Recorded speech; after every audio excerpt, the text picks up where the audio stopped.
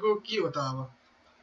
अब when electric charge in a conductor passes from one terminal to another it Inca encounters resistance भनेको छ। Definition त केही बनेन हो कि सो अब अरू डेफिनेसन यहाँनिर भन्छ the opposition offered by a substance to the flow of electric current is call its resistance भनेको छ। त्यो हिन्डरेन्स भन्छ क्या तिम्रो त्यो तिम्रो फ्लो अफ करेन्टलाई अपोज गर्ने फ्लो अफ करेन्टलाई अपोज गर्ने क्यापेसिटी नै के हो भन्दाखेरि रेसिस्टेन्स हो। वास्तवमा भन्ने भने। जस्तो यो किन हुन्छ त भन्दाखेरि तिम्रो जस्तो अब यहाँ एउटा मैले कन्डक्टर लिएँ। एउटा मैले यो कन्डक्टर लिएँ है। कन्डक्टरमा इलेक्ट्रोन्सहरू छन् फ्री इलेक्ट्रोन्सहरू छन् रेन्डम डिरेक्सनमा मुभ भइरहेछन् हो कि रेन्डम डिरेक्सनमा यिनीहरू यताउति यताउति सबै आफ्नो आफ्नो दिशामा हिँडिरहेछन्। अब के हुन्छ त मैले यसमा चाहिँ तिम्रो यसमा मैले के गरिदिएँ भन्दाखेरि पोटेन्सियल दिएँ। पोटेन्सियल दिँदा बित्तिकै के हुन्छ त? पोटेन्सियल दिँदा बित्तिकै अब यो यसले यसलाई अब यी सबै इलेक्ट्रोनहरू यो डिरेक्सनमा जान खोज्छन्। यो डिरेक्सनमा जान खोज्दाखेरि के हुन्छ भने यी इलेक्ट्रोनहरू एकअर्कामा चाहिँ कोलाइड हुन्छन् क्या फ्रिली कतै पनि केही नभइकन पाथमा कुनै अपोजिसनै नभइकन जान पाएको भए त तिम्रो रेसिस्टेन्सै हुँदैन थियो रेसिस्टेन्स जिरो हुन्थ्यो। एकअर्कामा कोलाइड हुन्छन्। कोलाइड भएको कारणले गर्दाखेरि पाथमा अब्स्ट्रक्सन आउँछ क्या यो इलेक्ट्रोनको फ्लोमा चाहिँ अब्स्ट्रक्सन आउँछ। अझ भन्ने भने इलेक्ट्रोनको फ्लोमा चाहिँ अब्स्ट्रक्सन आउँछ। इलेक्ट्रोनको फ्लो भनेकै करेन्ट हो फेरि। हो कि होइन? सो एकअर्कामा कोलाइड हुने कारणले गर्दाखेरि त्यो चाहिँ के हुन्छ भन्दाखेरि कुनै अब फास्ट मुभ होला कोही चाहिँ अलिक अलिकति स्लो होला कोही चाहिँ अब कुन पोजिसनमा बस्या हुनसक्छ कुनै कसरी बस्या हुनसक्छ के हुनसक्छ त्यो जाँदाखेरि चाहिँ एकअर्काको कोलिजनको कारणले गर्दाखेरि त्यहाँ चाहिँ अब्स्ट्रक्सन क्रिएट हुन्छ त्यो चाहिँ रेट अफ फ्लो अफ करेन्टमा चाहिँ डिस्टर्बेन्स आउँछ। त्यो डिस्टर्बेन्स हुने फेनोमेन नै के हो? त्यो त्यो त्यो डिस्टर्बेन्स हुने कन्डिसन चाहिँ के भन्दाखेरि रेसिस्टेन्स हो। रेसिस्टेन्स अफ अ रेसिस्टरको रेसिस्टेन्स हो। त्यो रेसिस्टेन्स भनेको चाहिँ के कुरामा चाहिँ डिपेन्ड गर्छ त? रेसिस्टेन्स चाहिँ के के कुरामा डिपेन्ड गर्छ भन्ने कुरा रहन्छ। जस्तो अब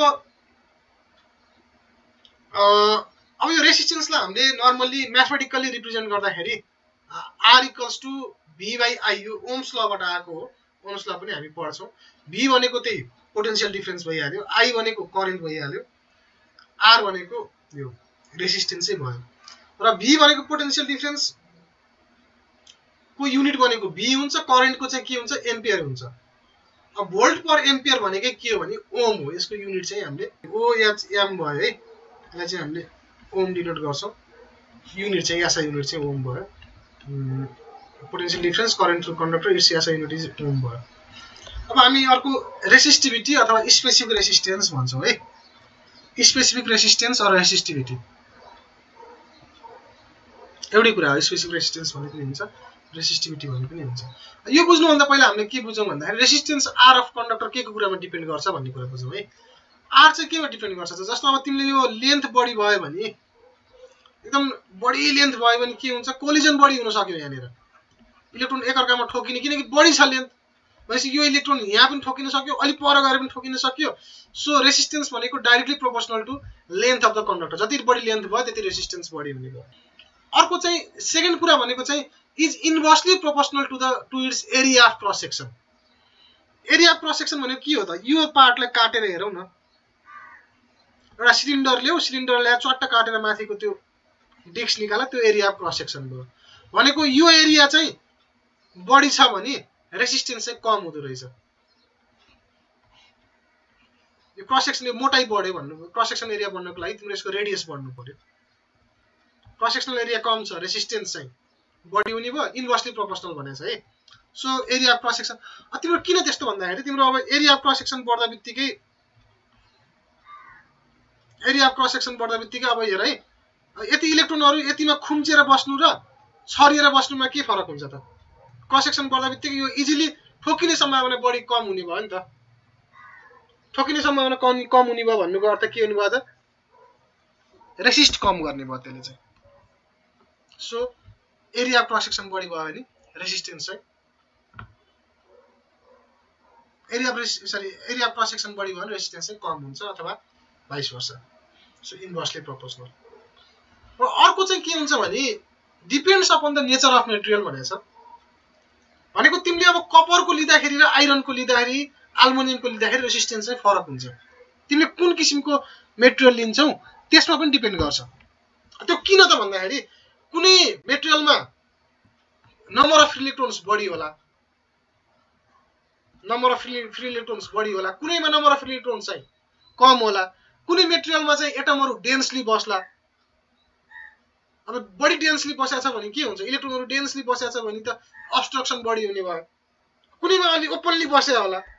लेन्थ र एरिया मात्रै होइन कि? तिम्रो चाहिँ अर्को कुरा चाहिँ मेटेरियलमा पनि डिपेन्ड गर्ने भयो। त्यो नै खासमा रेसिस्टिभिटी हो क्या?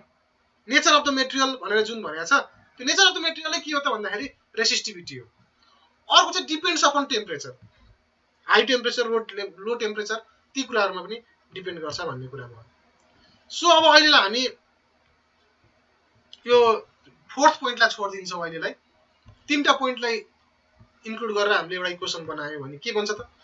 R is proportional to L by A र यो यो नेचर अफ भनेको चाहिँ जुन रेसिस्टिभिटी आएको छ त्यो चाहिँ के भयो त?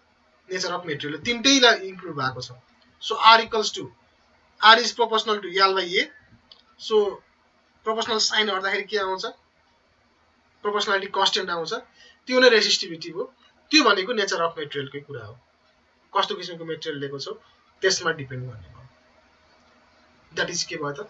स्पेसिफिक रेसिस्टेन्स अथवा रेसिस्टिभिटी सो यो चाहिँ ग्रिक लेटर रो यसलाई हामी ग्रिक लेटर रो भन्छौँ। Is a constant and is known as resistivity or specific resistance of the material it values depend upon the nature of the material भन्ने कुरा भयो। र ओभरअलमा जेसुकै भए पनि हामीले याद यो याल हो है। हामीले याद गर्नुपर्ने फर्मुला भनेको यही नै हो फेरि न्युमेरिकलमा यसको डेफिनेसन छ। A measure of the resisting power of a specified material to the flow of an electric current भनेको छ। रेसिस्टिभिटीको चाहिँ डेफिनेसन चाहिँ। रेसिस्टिङ पावर अफ मेटेरियल चाहिँ कति रेसिस्ट गर्न सक्छ? त्यो पावर नै रेसिस्टिभिटी हो भन्ने कुरा हो।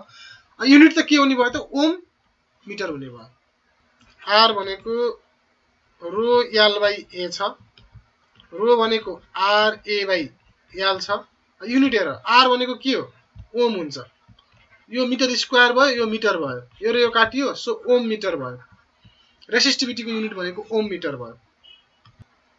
त्यही गरेर ओम्स मिटर भयो। कन्डक्टेन्स एन्ड कन्डक्टिभिटी भनेको छ। द रेसिप्रोकल अफ कन्डक्टेन्स भनेको के हो त? अब अब्स्ट्रक्सन छैन भने कन्डक्सन भयो। सो रेसिप्रोकल अफ रेसिस्टेन्स कम छ भने कन्डक्सन के हुने भयो? बढी हुने भयो। So reciprocal of resistance of a conductor is call its conductance त्यसलाई हामीले त्यसलाई हामीले जीले डिनोट गर्छौँ। So if if a conductor R resistance R then it its conductance G is given by G equals to one by R कन्डक्टेन्सको कुरा पनि भयो। अब यसको युनिट के हुन्छ त? यसको युनिट भनेको रेसिस्टेन्सको युनिट भनेको चाहिँ ओम हुन्छ। कन्डक्टेन्सको चाहिँ मो हुन्छ। ठ्याक्कै यसलाई उल्टोबाट लेख न। अर्को चाहिँ साइमेन पनि भन्छ यसलाई चाहिँ है? यसको युनिट चाहिँ हामी साइमेन भनेर पनि पढ्छौँ। म यसलाई हामीले अब नर्मल्ली ओम चाहिँ यसरी लेखिन्छ भने म चाहिँ यसरी पनि लेखिन्छ फेरि। युनिट चाहिँ। अथवा हामीले यसलाई साइमेन भनेर पनि पढ्न मिल्छ। यास भनेर पनि डिनोट गर्न मिल्छ। कन्डक्टेन्सको चाहिँ। कन्डक्टिभिटी भनेको चाहिँ रेसिप्रोकल अफ रेसिस्टिभिटी फेरि। अब यसको यसलाई चाहिँ हामी डिनोट गर्दाखेरि सिग्माले डिनोट गर्छौँ। त्यसलाई रोले डिनोट गरेको थियो होइन? के अरे रेसिस्टिभिटीलाई सो कन्डक्टिभिटी भनेको sigma equals to one by rho भयो। यसको युनिट के हुने भयो त? साइमेन पर मिटर हुने भयो। यो त बुझिहाल्छ यसमा केही गाह्रो छैन।